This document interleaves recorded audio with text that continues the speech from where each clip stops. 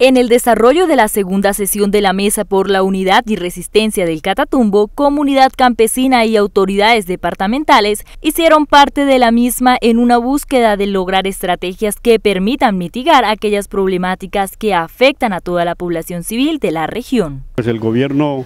eh, departamental, nacional y las administraciones locales pues no han dado cumplimiento a esas exigencias y por lo tanto pues nos vemos obligados a, nos vimos obligados de nuevo a salir a las vías para eh, llamar la atención del gobierno, eh, como lo estoy mencionando, del gobierno nacional, departamental y, las administraciones para eh, mirar a ver en qué podemos avanzar. Pues gracias a Dios, ahí en la movilización que se hizo en Astillero La Y, pudimos, pudimos hacer algún acercamiento o algunos temas de confianza con la Gobernación de Norte de Santander y es así como ya hicimos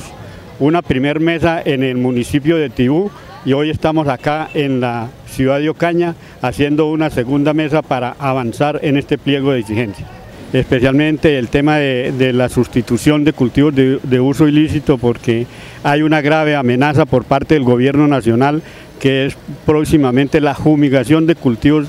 de, hoja de coca y, pues ahí nos vemos afectados todos, los que tienen coca y los que no tenemos. Son diversas las peticiones que hace la comunidad campesina al gobierno nacional para lograr mejorar la calidad de vida a toda la población. Nosotros lo que le estamos exigiendo al gobierno nacional y departamental es que se nos arregle las vías terciarias y secundarias que son lo que verdaderamente nosotros como campesinos necesitamos para sacar nuestras nuestros productos a, los mercados.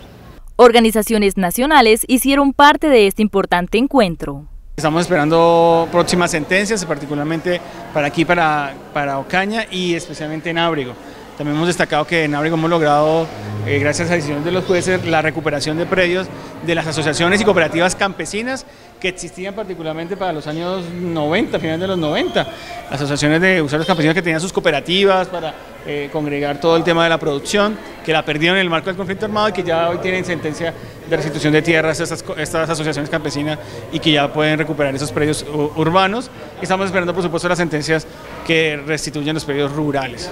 Durante el mes de agosto se desarrollará una tercera sesión de la Mesa por la Unidad y Resistencia del Catatumbo, en donde se hará un análisis de los avances por parte de las autoridades en la búsqueda de soluciones a las peticiones de los campesinos.